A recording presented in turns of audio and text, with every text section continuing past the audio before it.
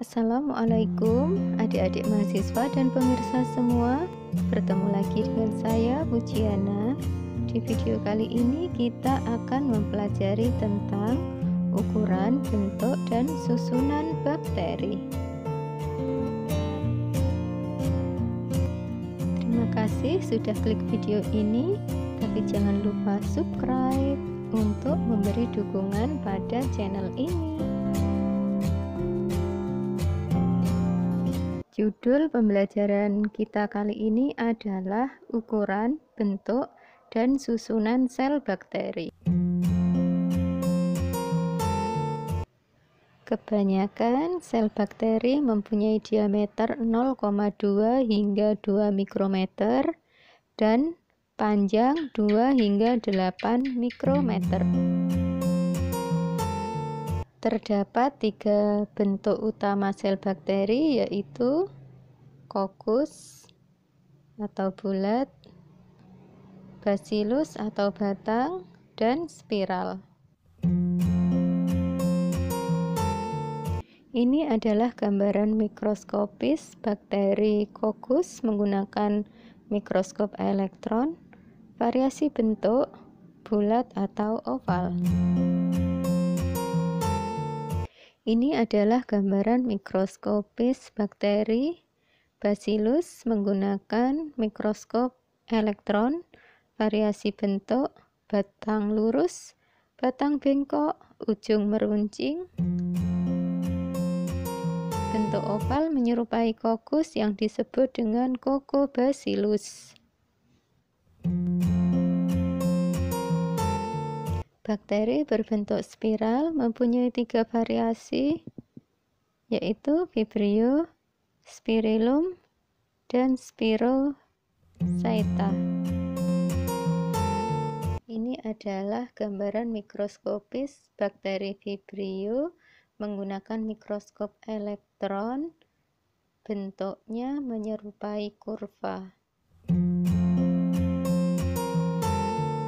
Ini adalah gambaran mikroskopis bakteri Spirillum menggunakan mikroskop elektron. Bentuknya helik seperti alat pembuka tutup botol Badan sel bakteri ini kaku.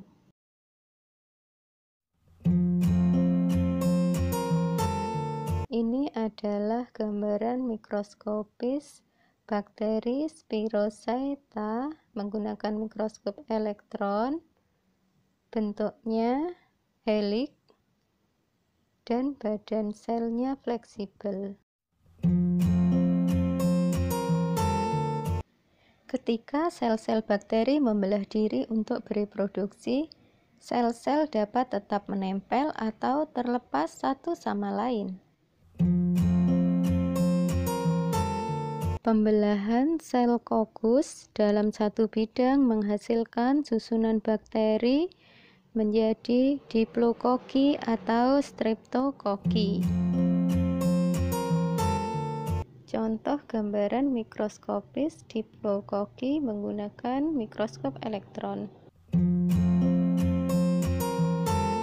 Contoh gambaran mikroskopis streptokoki menggunakan mikroskop elektron. Pembelahan sel kokus dalam dua bidang menghasilkan susunan sel bakteri menjadi tetrat. Ini adalah gambaran mikroskopis susunan sel bakteri tetrat menggunakan mikroskop elektron. Pembelahan sel kokus dalam tiga bidang menghasilkan susunan sel bakteri menjadi sarcine.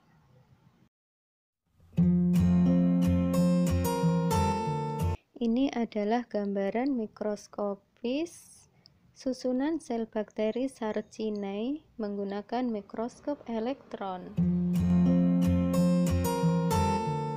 Pembelahan sel kokus dalam banyak bidang menghasilkan susunan sel bakteri menjadi stafilokoki.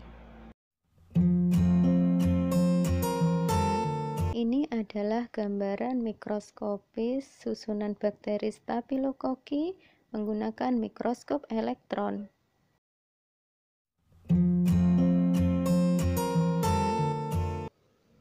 Bacillus hanya membelah pada sumbu pendeknya sehingga pengelompokan susunan sel basili lebih sedikit daripada koki. Sebagian besar Bacillus muncul sebagai batang tunggal disebut dengan Bacillus tunggal. Muncul berpasangan setelah pembelahan sel disebut diplobacilli. Tersusun dalam rantai disebut streptobacilli. Ini adalah gambaran mikroskopis Bacillus tunggal dan diplobacilli menggunakan mikroskop elektron. Ini adalah gambaran mikroskopis streptobacilli menggunakan mikroskop elektron. Kesimpulan, sel bakteri berukuran sangat kecil dapat dilihat hanya dengan mikroskop. Terdapat tiga bentuk utama sel bakteri yaitu kokus, bacillus, dan spiral.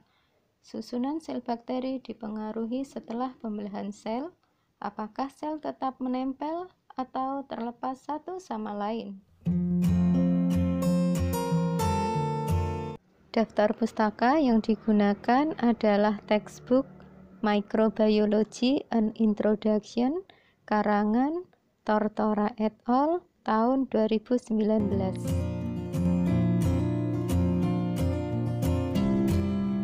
demikian video kita kali ini. Terima kasih sudah menonton. Jangan lupa like, subscribe, komen, dan share ya teman-teman. Terima kasih. Wassalamualaikum warahmatullahi wabarakatuh.